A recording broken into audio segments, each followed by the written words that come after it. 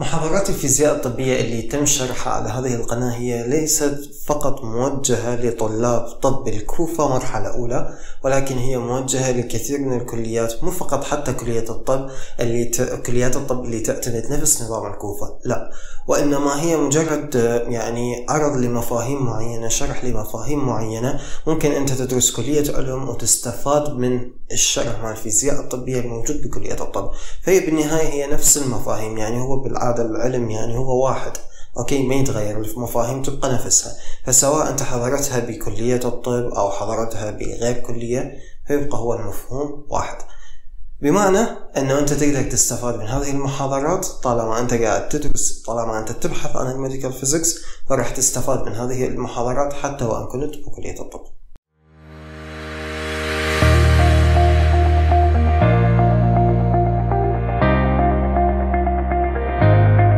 مساء النور شباب وبنات وكل اللي قاعد يتابعوني هذه هذا الفيديو راح يكون موجه لطلاب المرحلة الأولى الطلاب الجزء اللي جايين بهذا الفيديو راح أسوي آه شيء أشبه بال ILOs شلون يعني ILOs؟ ال ILOs هو أساسا شنو؟ آه طبعا هي مختصر لل intended learning objectives شنو هاي ال intended learning objectives؟ بكل محاضرة إن شاء الله بالمستقبل راح تدرسوها خصوصا بال semester الثاني. راح تواجهون هذه ال intended learning objectives ببساطة هي شنو راح تدرسون بهذه المحاضرة؟ أو الأهداف الأهداف اللي لازم تحققوها بنهاية محاضرة معينة. okay؟ فمثلا بالمحاضرة الأولى من ال medical physics ILO معينة أنتم لازم تمرون بيها. ولازم تحققوها بهذه المحاضرة. هاي فكرة ال ILOs okay؟ فهذا الفيديو أنا بالنسبة لي راح يكون أشبه بال ILO طيب شنو يعني ليش هذا الفيديو؟ ليش مسوي هذا الفيديو؟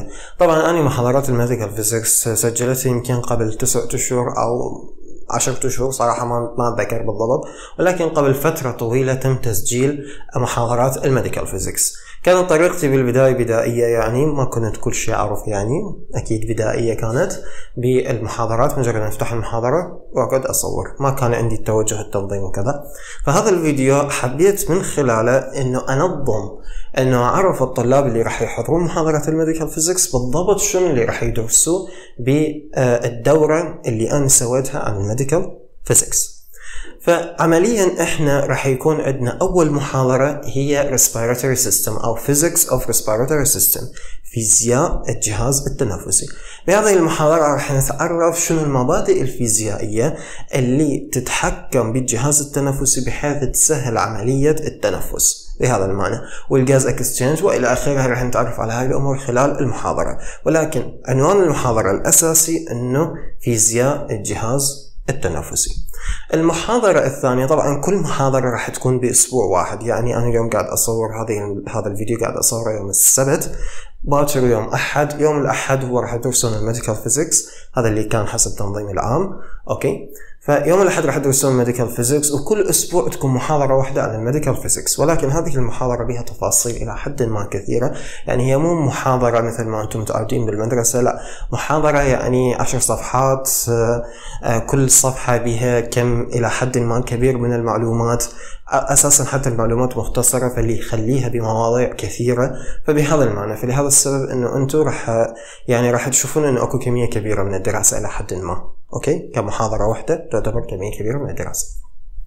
فعندكم الفيزياء الجهاز التنفسي بعدها عندكم فيزياء الاشعه السينيه physics of x-ray. الأشعة السينية راح ندرس بها شلون تشتغل الأشعة السينية okay؟ ك physics شلون راح تشتغل الأشعة السينية وبعدها راح ندرس تأثيرها على الجسم وشلون إحنا نستفاد منها وال imaging وإلى آخره يعني التصوير بالأشعة وإلى آخره من هاي الأمور.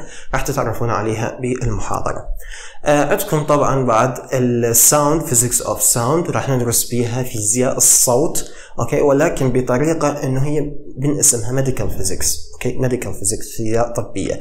فراح ندرس الأشياء المتعلقه بالجسم البشري وبالنهاية اللي متعلقة بالطب. فقط ما راح نتوسع بالأشياء اللي ما لها علاقة بالطب.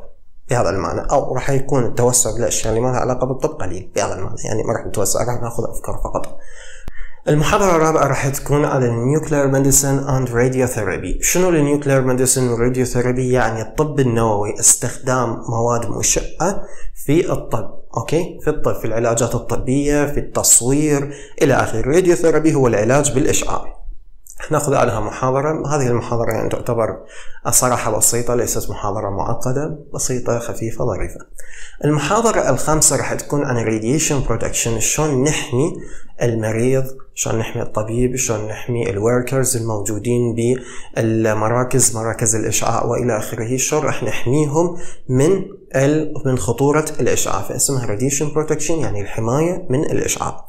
المحاضرة السادسة راح تكون عن ال forces on and in the body يعني شنو القوة اللي تأثر على الجسم وشنو القوة الموجودة بالجسم. هذه إلى حد ما أحسها صراحة فيزياء بحتة ما أحسها أبدا medical physics ولكن هذه المحاضرة لها أهميتها لأنه أكو تجربة عليها راح تدرسون تجربة عليها. هذا كان كل شيء راح تدرسوه okay؟ بشكل مختصر. طبعا مو كل شيء كل شيء لأنه أكو بعد محاضرة أنا ما شرحها اللي هي ال vision وال eye وال light لاني كلهن أنا صراحة ما شرحتهن. آه ليش ما شرحتهن؟ صراحة لأن ما حبيتهن؟ okay؟ بهالبساطة وقت بنفس الوقت إنه ما لحقت. هذا يمكن السبب الرئيسي إنه ما لحقت. طيب. آه الآن آه بآخر شيء أريد أقوله بهذا الفيديو إنه ال medical physics الفيزياء الطبية مادة أهم مادة بال semester الأول. فيحتاج من عندكم اهتمام. بنفس الوقت إنه لازم تركزون بشلون تدرسون هاي المادة. ليش؟ لأن طريقة دراسة هاي المادة قريبة جدا من طريقة دراسة المواد بال semester الثاني. يعني أنتم هسه عندكم بالفيزياء الطبية بال semester الأول راح تأخذون محاضرة ببداية اليوم وراح تأخذون بعدها إنه يا small group يكون عندكم small group انه راح تقعدون مجموعة من الطلاب مقابل بعض okay ويقعدون يتناقشون بهذا المعنى. آه، يعني يقولون أكو أسئلة معينة انه لازم تحلوها فلازم تتناقشون وتحلوها.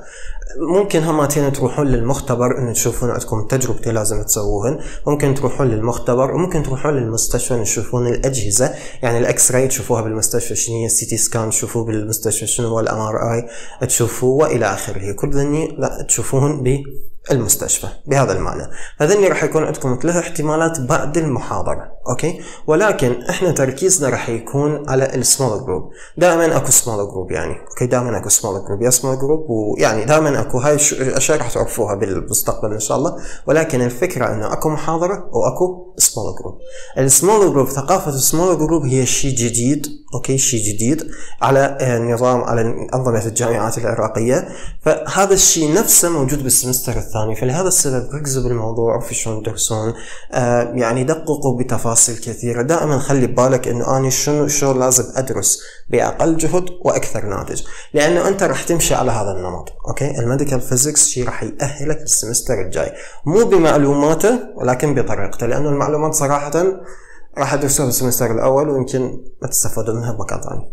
بس مجرد تأخذ أفكار okay؟ أفكار علمية وبس. أنا شخصيا الآن قاعد أشوف إنه كان ال medical physics صراحة ما كان لها داعي إنه تنحط بال semester الأول. ممكن أوزعها مثلا من أدرس الجهاز التنفسي نفسه أدرس وياه ال physics of respiratory system. يعني أشوف هاي الطريقة أفضل. بس إنه بالنهاية هذا نظام جامعة. آه هذا كان كل شيء بهذا الفيديو. طبعا تلقون آه رابط ال playlist اللي موجود بها مشروح بها كل المحاضرات مال ال medical physics اللي أنا شارحها. okay موجودة أسفل آه برابط بال description وراح تطلع لكم كاقتراح هنا وهي أساسا راح تطلع يعني راح تملي الشاشة هسه كلها فيديوهات. فواحدة من ذني الفيديوهات أو واحدة من ذني الاقتراحات راح تكون هي ال play of playlist of medical physics قائمة تشغيل الفيزياء الطبيه آه لهنا شكرا أشكركم على المتابعة. نلتقي إن شاء الله في فيديو آخر.